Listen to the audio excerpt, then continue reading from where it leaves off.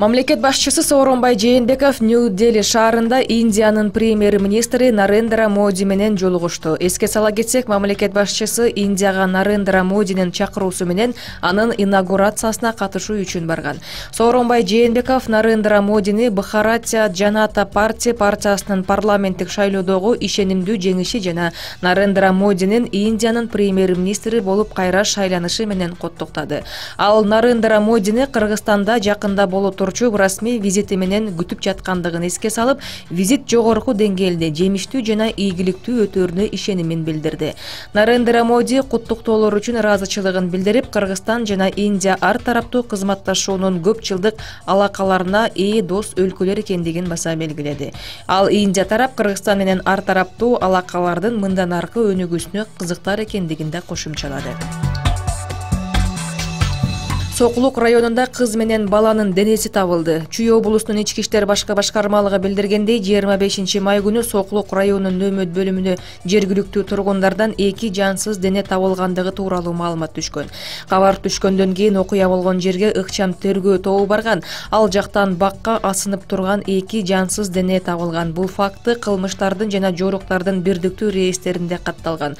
Сотко чейинки өндүрүштүн жүрүшүндө маркумдардын өздүгү такталган. Бала сокулук районунун он тогуз жаштагы жана кыз он алты жаштагы кочкор районунун тургуну болуп чыкты. Учурда баардык керектүү экспертизалар белгиленген сотко чейин өндүрүш уланууда кыргызстандын чек арачылары мамлекеттик чек араны бузган жаранды жарадар кылышты. Бул туурасында жыйырма төрт kg агенттигине өздүк булактар билдирген. Окуя бүгүн түнү кыргыз өзбек чек арасында ош облусуна караштуу араван районунда болгон. Өзбекстандын бир канча жараны кыргызстандын аймагына мыйзамсыз түрдө унаалары менен кирип алган. Алар чек арачыны сабап салышкан. Аскер адамдары ок чыгарып тартип бузгандардын бирин жарадар кылган деп билдирди өздүк булак. Чек ара кызматы аталган маалыматты тастыктады. Билдирүүгө караганда өзбек өзбекстандык жаран жаракат алып ооруканага түштү.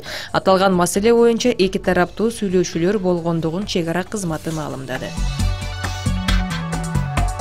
тажикстанда мектеп окуучулары он төртүнчү июнга чейин окушат. Бул туурасында тажик телеграф агенттиги жазды. Анда маалымдалгандай тажикстандын билим берүү министрлиги окуу жылы былтыркыдай эле он төртүнчү июнга чейин узарып жатканы боюнча түшүндүрмө берип өлкөдөгү окуу процесси башка өлкөлөрдүкүнөн айырмаланаарын айтышкан.